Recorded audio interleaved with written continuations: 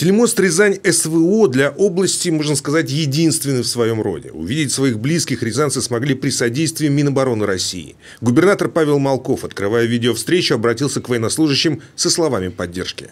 Уважаемые военнослужащие, мы все очень гордимся тем, что вы делаете, вашим мужеством, тем, что защищаете интересы нашей страны сейчас там. И могу сказать, вот мы совсем коротко успели поговорить, после встречи еще останемся, некоторые вопросы э, договорим.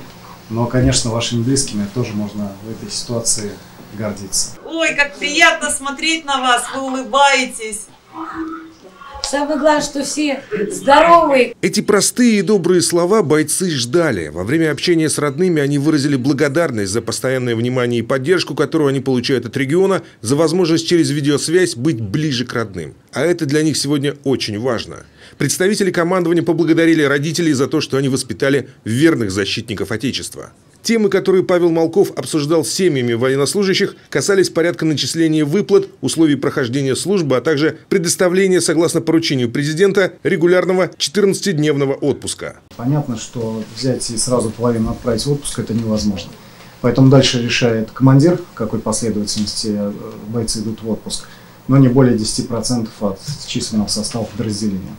Поэтому это просто займет какое-то время. Мы с своей стороны что требует сейчас делаем, например, транспорт уже организован для того, чтобы их возить напрямую или, или если они едут в другой регион, из этого региона к нам разом завести. Поручения все же даны, автобусы ищут, и они будут раз в неделю курсировать.